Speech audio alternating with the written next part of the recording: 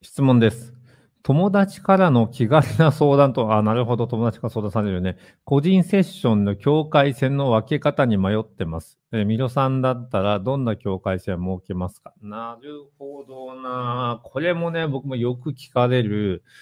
質問なんですけど、相談されますかって言われて、相談はされないんですよね。で、なぜかっていうと、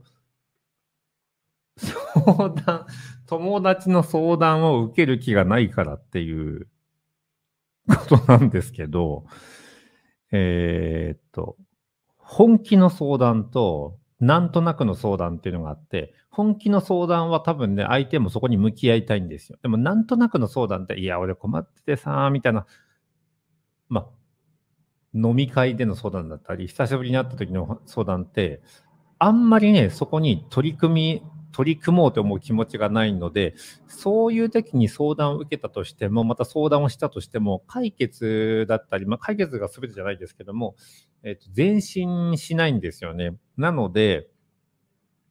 まあ、要は、友達か個人接触かっていうよりも、本気か否かっていうふうに感じ、分けた方がいいかなと思うんですけども、なので、本気の相談は本気の相談として、じゃあ、相談の時間です。で、受け付けると。で、そう、そうね、それ以外は、うーん、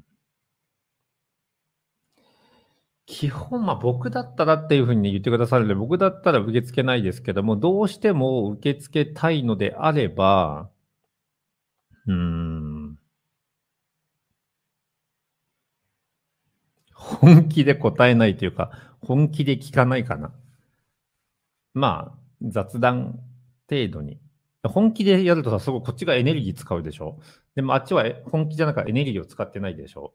えー、なので、ちょっとね、エネルギーロスが生まれるんですよね。そういい循環が生まれないので、そうすると、まあ、向こうもなんか結局モヤモヤするし、僕たち、まあ、受ける側も、えー、っと、なんか疲れちゃったなっていうふうになるので、まあ、そこでね、分けていくといいかなと思います。